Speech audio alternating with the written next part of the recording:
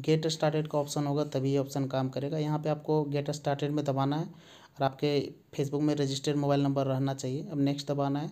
उसके बाद आपको यहाँ पे तीन ऑप्शन मिलेगा, गेट कोड मतलब get code on O email और बर्थडे का। तो अब यहाँ फ़ोन के साथ बढ़ रहे हैं। आप अगर जो ऑप्शन अच्छा लगे, उसके साथ बढ़े। फिर यहाँ पे आप अपना जो रजिस्टर्ड नंबर, उसको चूज़ कर ले। उसके बाद आपको एक कोड आएगा, सिक्स डिजिट का, वो आपको यहाँ पे डालना है।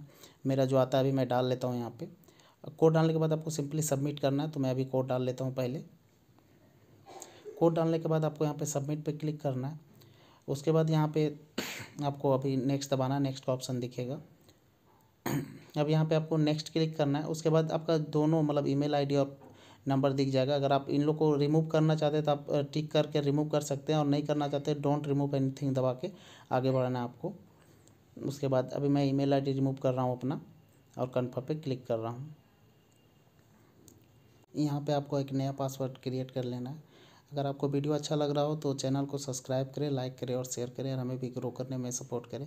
यहाँ पे पासवर्ड डाल के आपको देखिए मैं नेक्स्ट कर लिया अब यहाँ पे आपको रिसेंट रिव्यू में एक्टिविटी में दबाना है और उसके बाद कुछ नहीं गेट स्टार्टेड में दबा के आपको नेक्स्ट नेक्स्ट नेक्स्ट नेक्स्ट करते जाना आपका अकाउंट पूरी तरीके से अनलॉक हो जाएगा। इस वीडियो में इतना था। वीडियो देखने के लिए